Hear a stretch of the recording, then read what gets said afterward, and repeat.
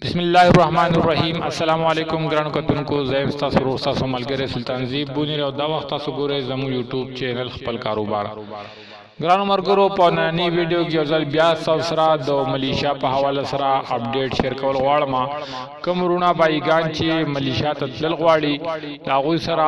پی آر پرمټ دي یا د هغه سره مای سیکنډ هوم والا پرمټ دي نو هغه د 7 تاریخ نه بعد نشي تللی نو کو کوم رونو بایګانو ټیکټ اغستی وي نو مهرباني وکړئ اول دا آډیو کلیپ تو شوکت رحمان باچا وګورئ او تاسو را زه دا لیست هم شیر کوم چې پاغه کې پاکستان شامل کړی شوی دی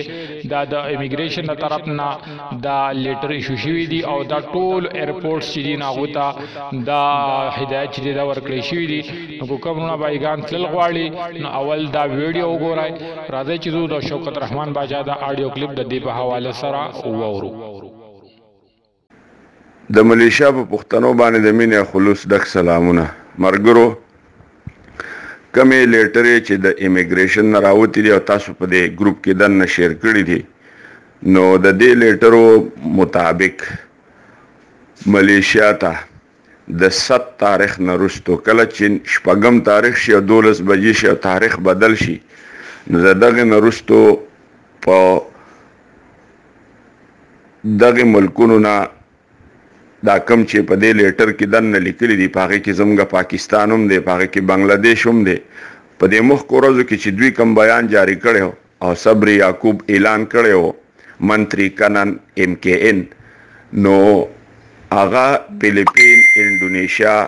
او انډیا وا خو اوس دوی د دې ملکونو دا کم ملکونه چې دوی په دې لیست کې لیکلي دي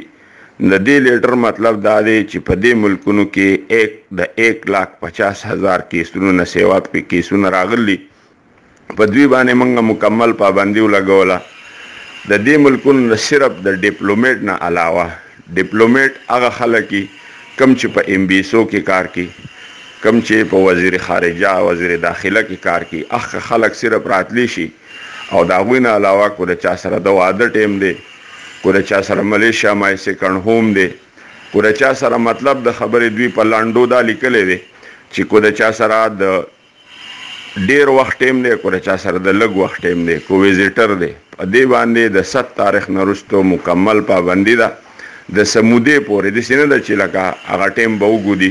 چې کله دوی بیا د خپل فیصله دغه کی نو دوی به بیا اعلان وکړي ان شاء الله که خیری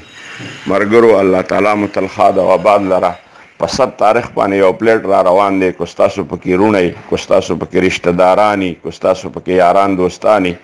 تاسو مهرباني وکړئ هغوی انفام کړئ دا کاغذونه وله ولېږئ داسې نه زموږ غریبۍ دي زموږ غریبانان یو په ملک کې زموږ غریبې غریبې کوټګۍ دي داسې نه چې هغوی ټیکټ والی او راشي او تاوان یې وشي اتیا زره د یو طرفه ټیکټ دی اتیا زره د بل طرفه ټیکټ دی په تېره تېره د هغې کور نه راوتم پوره ګران کار دی مخلوق جاړي لکه نو تاسو مهرباني وکړئ هغه خلک هم انفام کړئ که ستاسو سره دا معلومات وي چې په ست تاریخ سوارګري راځي لکه او دا پابندی چې دا نو دا د ایمیګریشن آفیسر ټول میګریشن والا سره د طویل مشاورت نه رستو کړی ده لکه حکومت د دې خبرې اجازه تم ورکړی دی لکه مخکې چې کله معیدین یاسین تقریر وکړو نو خلکو به تپوس کاوه د پرموټې په کې څه وې ما په هغه میسج کې ویلو مې دا وزیر اعظم راغلی او د صرف بیسیک خبره کړې وه د صرف په لاک ډاون کې اکسټینشن ورکو او د ایمیګریشن لایحه عمل به څه ورځې وروسته راځي نو دا د ایمیګریشن لایحه عمل مخکې را دی راغی د څه مودې دپاره په ټولو کسانو باندې پابندي ولګوله کوم ملکونه چې په دې کې دننه لیکل دي په دې کې بنګله دیش دی پاکستان دی انډیا ده فلیپین دی انډونیشیا ده نو دوی خپلې بورډرې هغې ټولو میګریشنو ته دا لیټرې ولیږلې چې په دې باندې مکمل پابندي ده او دا خلک په د سره ملیشیا ته دننه نه راپریږدی. ډیره ډیره مننه الله تعالی مو تل ښاد او اباد لره دعاګانې کوی چې الله تعالی دا کرونا په خپلو قدرتونو باندې ختمه کړي او زمونږ د ټولو مسافرو ستونزې اسانې شي او زمونږ ژوند نارمل شي.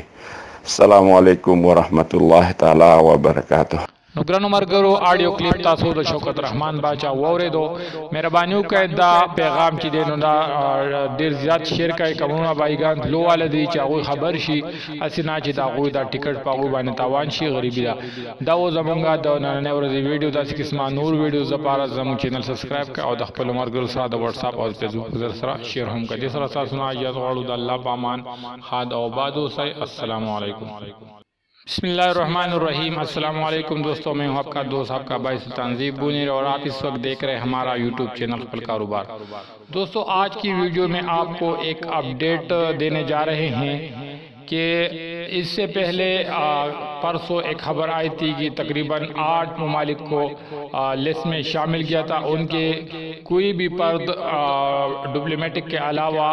ملیشیا نہیں جا سکتے تھے لیکن آج جو تازہ خبر آئی ہے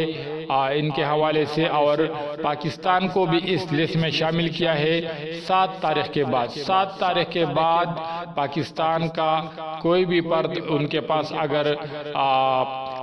پی آر بھی ہو ان کے پاس مائی سیکنڈ ہوم والا پرمٹ بھی ہو